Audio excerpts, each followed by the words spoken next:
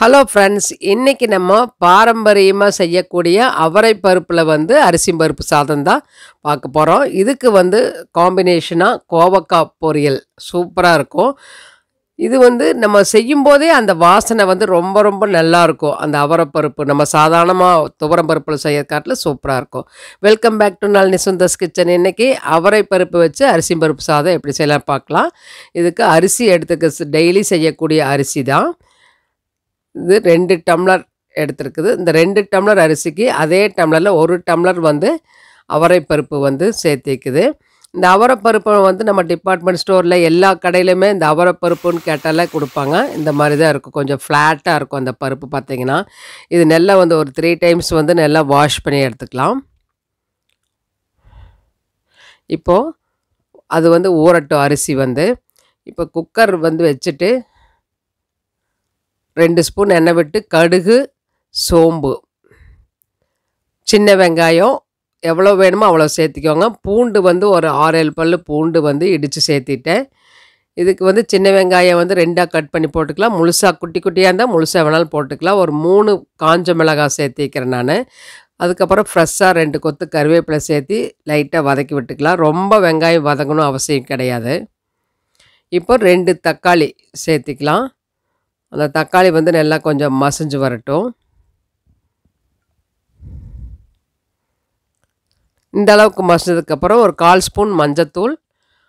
அதே மாதிரி அந்த குட்டி ஸ்பூனில் அரை ஸ்பூனுக்கு தனி மிளகாத்தூள் சேர்த்திக்கிறேன் அப்புறம் பெருங்காயத்தூள் ஒரு கால் ஸ்பூன் சேர்த்திக்குது இது எல்லாத்தையும் நம்ம வந்து நல்லா கலந்து விட்டுடலாம் இப்போ நம்ம வந்து ஆல்ரெடி வந்து கழுவி ஊற வச்ச ரைஸை வந்து இதில் சேர்த்திக்கலாம். அரை மணி நேரம் ஊற ஊறி இருக்குது இந்த ரைஸை வந்து இதில் சேர்த்திக்கலாம். சேர்த்து நெல்லை வந்து கலந்து விட்டுடலாம் அந்த காரம் எல்லாம் பிடிக்கும் இல்லைங்களா? இப்போது தேவையான அளவுக்கு தண்ணி விட்டுக்கலாம். இப்போது ரெண்டு டம்ளர் ரைஸுக்கு நாலு டம்ளர் தண்ணி ஊற்றிக்கிறேன் அந்த பருப்புக்கு தண்ணி ஊற்றலை இப்போ தேவையான அளவுக்கு கல்லுப்பு சேர்த்து கலந்து விட்டுக்கோங்க.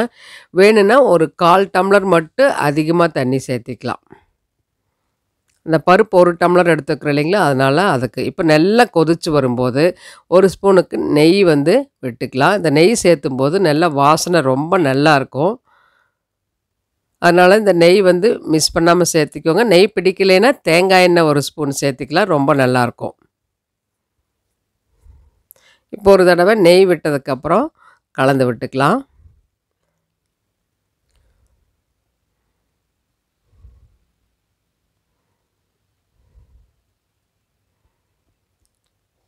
இப்போ வந்து லிட்டு போட்டு ரெண்டு விசில் எப்பவும் போல் ரெண்டு விசிலுக்கு வெயிட் பண்ணலாம். இதுக்கு அப்புறம் வந்து கோவக்காய் இதுக்கு வந்து சைட் டிஷ்ஷாக வந்து நம்ம கோவக்காய் பொரியல் தான் செய்ய போகிறோம் இந்த ஃப்ரெஷ்ஷாக இருக்கிற கோவக்காய் வந்து முந்நூறு கிராம் கோவக்காய் எடுத்து நல்லா வாஷ் பண்ணி வச்சுக்கிறேன். இந்த மாதிரி நீள நீளமாக கட் பண்ணிக்கலாம். நீங்கள் ரவுண்டாக வேணாலும் கட் பண்ணிக்கோங்க. நான் வந்து இந்த மாதிரி நீல வாக்கில் கட் பண்ணிக்கிறேன் இன்றைக்கி ரெண்டு பக்கம் அந்த காம்பை வந்து கட் பண்ணிவிட்டு நம்ம வந்து இந்த மாதிரி கட் பண்ணிக்கலாம். நல்லா பிஞ்சாக இருந்ததுன்னா ரொம்ப டேஸ்டியாக இருக்கும் இது வந்து. இந்த மாதிரி எல்லா காயும் நம்ம வந்து கட் பண்ணி எடுத்துகிட்டு வந்துடலாம். இப்போ காய் கட் பண்ணியாச்சு ஒரு கடாய் வச்சுட்டு ஒரு ஒன்றரை ஸ்பூனுக்கு எண்ணெய் விட்டுக்கலாம். எண்ணெய் சூடானோடனே கடுகு உளுந்து சேர்த்திக்கலாம்.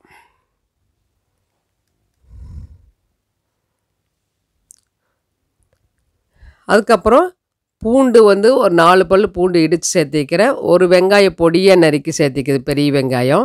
இது எல்லாத்தையுமே வதக்கி விட்டுடலாம். பூண்டு வெங்காயத்தை வந்து நல்லா வந்து வதக்கி விட்டுட்டு ஒரே ஒரு தக்காளி போதும் இதுக்கு.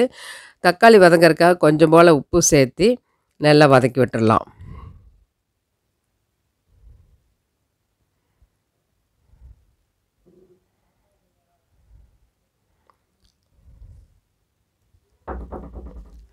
தக்காளி வந்து இந்த அளவுக்கு மசிஞ்சு வந்ததுக்கப்புறம் நம்ம வந்து கொஞ்சமாக மஞ்சத்தூள் கொஞ்சமாக சேர்த்திக்கலாம். அதுக்கப்புறம் மிளகாத்தூள் வந்து ஒரு அரை ஸ்பூன் சேர்த்துட்டு கருவேப்பிலை ஃப்ரெஷ்ஷாக ரெண்டு கொத்து சேர்த்திக்கலாம். சேர்த்து நல்லா வந்து கலந்து விட்டுக்கலாம். இந்த அளவுக்கு வந்து தக்காளி வந்து நல்லா மசிஞ்சதுக்கப்புறம்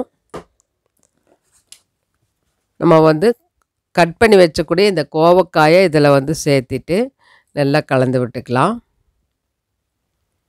இந்த கோவக்காய் வந்து தோல் வந்து பார்த்திங்கன்னா, அந்த ஸ்கின் வந்து இன்னும் கொஞ்சம் திக்காக இருக்கும். அதனால் கொஞ்சம் நம்ம தண்ணி விட்டால் தான் நல்லா ஈஸியாக குக் ஆகும். சாஃப்டாக இருக்கும். இப்போ தேவையான அளவுக்கு உப்பு சேர்த்திட்டு, தண்ணி வந்து இது கூட சேர்த்திக்கலாம். ஒரு அரை டம்ளருக்கு மட்டும் தண்ணி விட்டால் போதும்.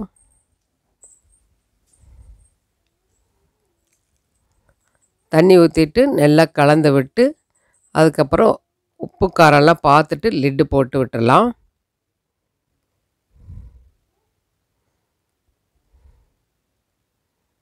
எல்லாம் இந்த மாதிரி கொதிக்கும்போது, உப்பு, காரம் பார்க்கணும். பார்த்துட்டு ஒரு லிட்டு போட்டு விட்டுட்டு, ஒரு 10 நிமிஷம் கழித்து பார்க்குறோம். இப்போ நல்லா குக் ஆயாச்சு பாருங்க. நம்ம வந்து அரை டம்ளர் தண்ணி ஊற்றினோம் அந்த அரை டம்ளர் தண்ணியிலேயே நல்லா வந்து குக் ஆகி வந்தாச்சு இந்த மாதிரி இதுக்கு வந்து தேங்காய் துருவலெல்லாம் போட வேண்டியதில்லை இப்போ வந்து கரம் மசாலா ஒரு 1/2 ஸ்பூன் நான் சேர்த்திக்கிறேன். இது வந்து வேண்டானா நீங்கள் ஸ்கிப் பண்ணிக்கோங்க. இது போட்டால் ரொம்ப நல்லாயிருக்கும். இந்த ஃப்ளவர் வந்து இந்த காய்க்கு. இது நல்லா வந்து கலந்து விட்டுடலாம் இப்போ வந்து ஸ்டவ் ஆஃப் பண்ணிவிட்டு அந்த சூட்லேயே கொஞ்சம் நேரம் இருக்கட்டும். அதுக்கப்புறம் வந்து நம்ம செர்விங் பவுலுக்கு மாற்றிக்கலாம் இப்போ பாருங்க, அந்த நெல்லை அந்த கரம் மசாலா சேர்த்துனதுக்கப்புறம் நல்லா வாசனையாக நல்லாயிருக்கும். இப்போ வந்து நம்ம இந்த காய் இந்த அளவுக்கு சூப்பராக வந்து குக் ஆகி வந்தாச்சு. இப்போ நம்ம செர்விங் பவுலுக்கு ட்ரான்ஸ்ஃபர் பண்ணிக்கலாம்.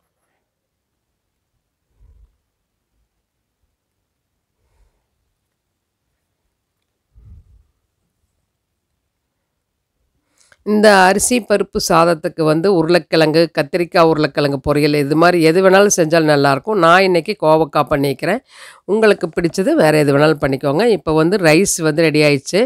சூப்பராக வந்திருக்கு பாருங்கள் அந்த திறக்கும்போதே அந்த அவரப்பருப்பு அந்த அதுக்குரிய வாசனை வந்து நல்லா இருக்குது நம்ம துவரம் பருப்பு சேர்த்துறத விட இதுக்கு வந்து இதுக்குன்னே தனியாக ஒரு வந்து வாசனை இருக்கும். அந்த மணம் சூப்பராக இருக்கும். அந்த திறக்கும்போது நம்ம நெய் விட்டுருக்குறோம். அதனால் வந்து ரொம்ப நல்லாயிருக்கும். இந்த மாதிரி கலந்துட்டு, அதுக்கப்புறம் நம்ம வந்து சூடாக பரிமாறும்போது நல்லாயிருக்கும். குழந்தைகளுக்கு இன்னும் கூட அதிகமாக நெய் விட்டு நம்ம வந்து சே சாப்பிட வைக்கலாம். ரொம்ப நல்லது.